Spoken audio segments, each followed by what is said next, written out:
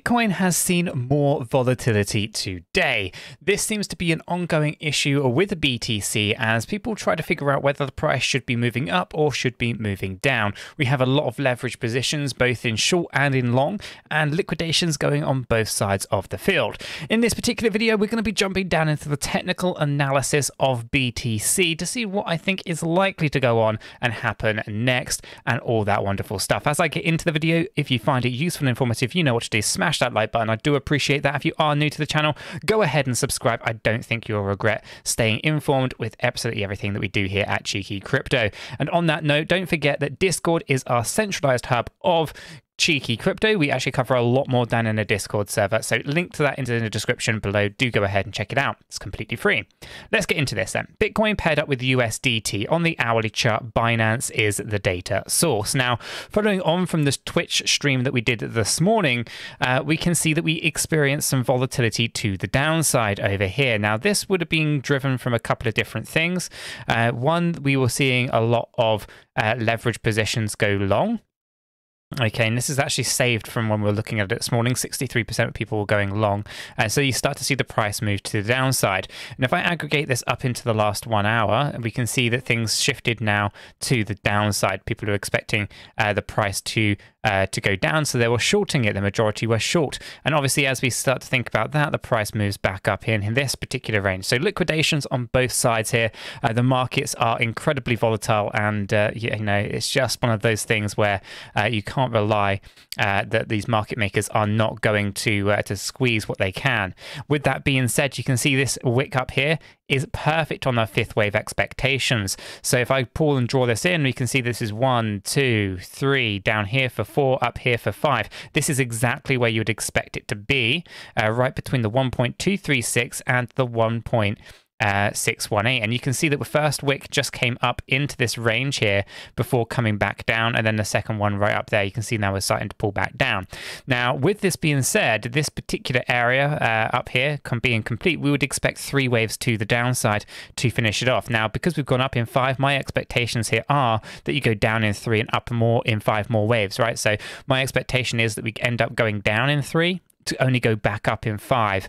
Okay, and it's going to be a giant um, I mean, it's possible that it's uh, a, it's an irregular flat. It's possible that it's actually an irregular flat, yeah that's a possibility. But however, I think it's actually more suited to a zigzag pattern, which would be five up, three down, five up, in my opinion.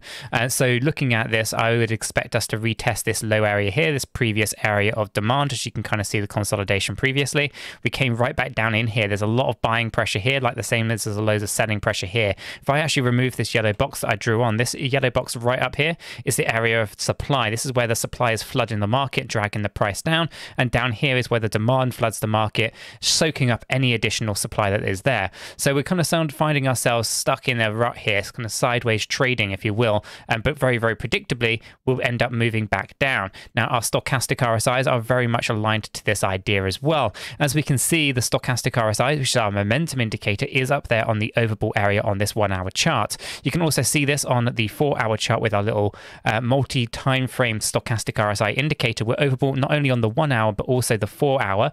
And last time I checked, I think the eight hour was progressing nicely. Yeah, so you can see we've got a really good move up on that eight hour stochastic RSI as well. If we come to the daily, you can see that we've got progression to the downside. We've got a long way to go yet though. And the same with the weekly. Loads of room to the downside here, not a lot to the upside on those macro timeframes. So I do think we're going to correct down in three, and then I think we're going to go back up in five. And I think we're going to be testing this higher range somewhere around that 21k. Seems to be the most logical area. And every time we talk about it, it always seems to be coming up. This high area that we've only tested in this brief time period on the 29th of October, we haven't come back in to confirm this as our new major uh, supply zone. Okay, so I think that we're going to move down in three retest this low area down here somewhere uh, ideally between 20,330 through to about 20,400 uh, dollars. And then I think we're going to be moving up in five to finish off our zigzag pattern taking us up into that supply zone and get rejected from there. And when we do this I would estimate that we are probably going to be in a really overbought position on the daily uh, the weekly the eight hourly four hourly and who knows about the hourly? That one could be fluctuating around a little bit. But essentially, a lot of those macro timeframes I think are going to be lining us up for a big nosedive in the price of BTC. Now I don't think that this is something that is you know isolated to Bitcoin either. I think actually, realistically speaking, and you know, being brutally honest with everyone here, it's really what is going to be driving the DXY to the upside. Okay, so Bitcoin's pushed up the way that it has only because the DXY dropped down the way that it did.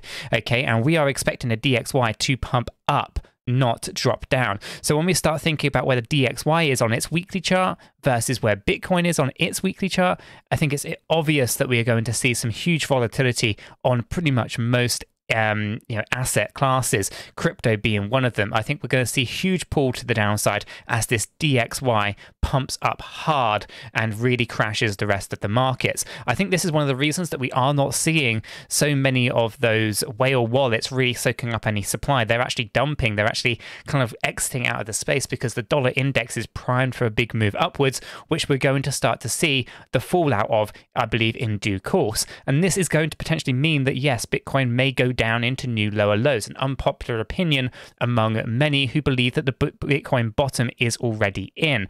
I don't believe that and don't believe that that is going to be the case until we actually see the big money flowing back into the space, buying cheap Bitcoin from the retail investors, which we talk about on the streams every single day. So for now, Bitcoin does not seem to be gearing up for a bull run. We have no trend based structures according to Elliott Wave theory. And I will address one additional thing. There are many other influencers out there that try to use Elliott Wave theory.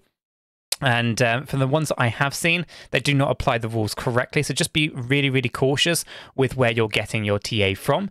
But do bear in mind that I am not a financial advisor. I cannot give you financial advice. All I can do is give you my thoughts and opinions on the data as I see it. Now, Elliott Wave Theory, I'm running a course on it.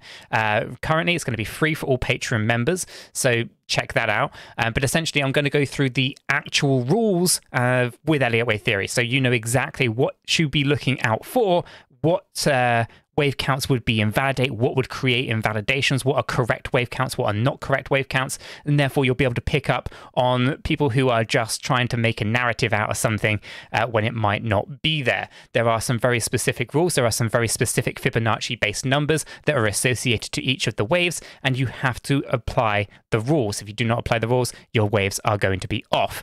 Okay, so I'll leave it there. That's going to be something that's going to be in a Discord server available for our Patreon members. So check that out if that's of interest to you. Um, but essentially, here, my expectations are that Bitcoin's going to go down, DXY is going to go up, then DXY is going to go down, Bitcoin's going to fly up in an additional five waves, and then we're going to see a nosedive as the DXY goes on a mega pump to the upside, dragging pretty much most cryptocurrency assets down into the ground. But that's my thoughts and opinions. Let me know yours in the comments down below, and I'm going to leave this video right there. If you found it useful and informative, smash that like button. I do appreciate that. If you are new to the channel, go ahead and subscribe, tap the bell, select all the notifications, and in doing so, you will stay up to date with absolutely everything that we do here at Cheeky Crypto. Guys, until the next one, have a fantastic day.